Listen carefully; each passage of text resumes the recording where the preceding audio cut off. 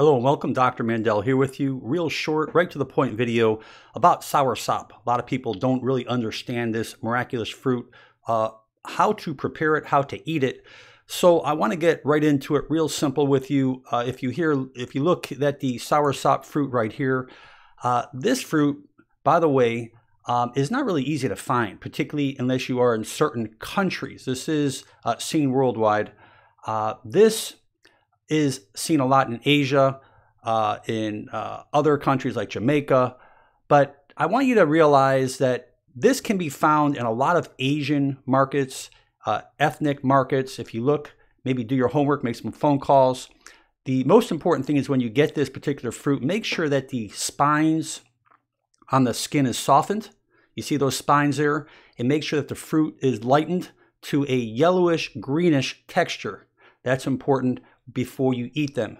Also, um, I want you to realize that this particular fruit, if you cannot get the fruit as a whole, uh, this can be found in jars. Uh, you can you can look through Amazon. You can get it in cans and powders. They actually have in oils. I've seen in capsules uh, that you can actually take uh, these particular supplements. Now, obviously, with this fruit, which I'll tell you in just a second, what you should and should not do.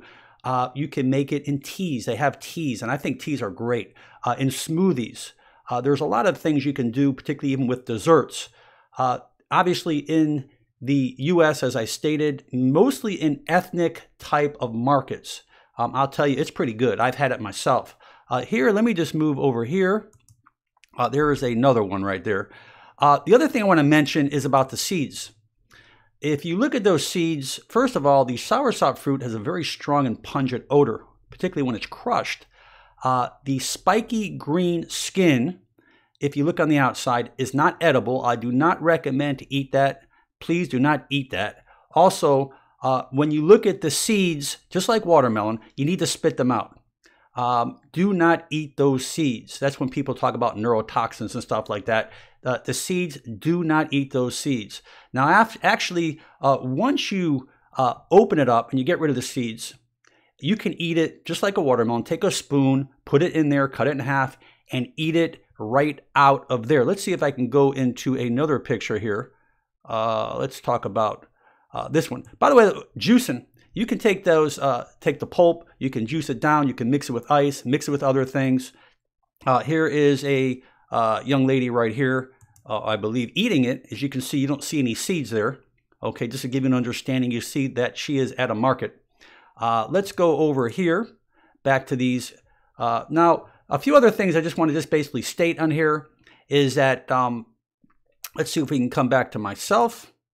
One second, here I am.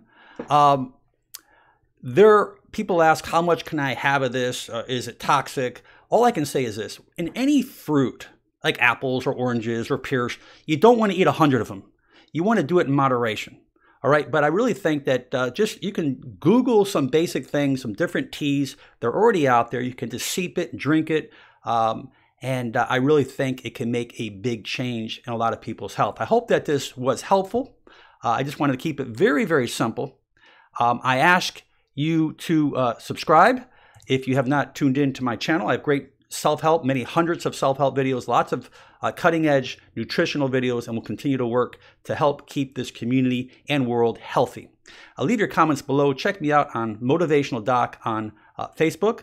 Uh, please share these videos. Make it a great day, and a lot of love to you and your family. Bye-bye now.